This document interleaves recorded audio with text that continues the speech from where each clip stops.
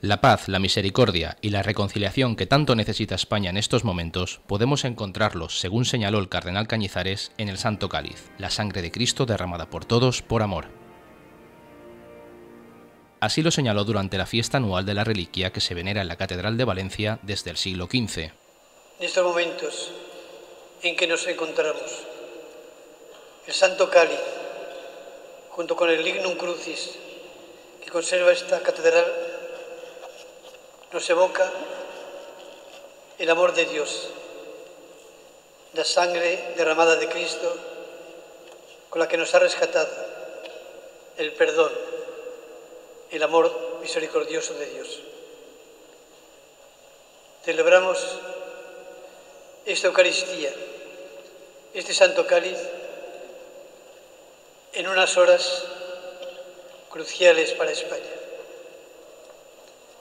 Santo Cáliz,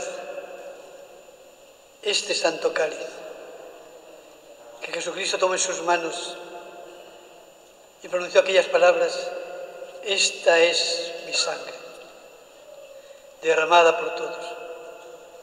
Es lo que puede dar sentido, debe dar sentido a estas horas cruciales, porque es la sangre de Cristo derramada para nuestra reconciliación,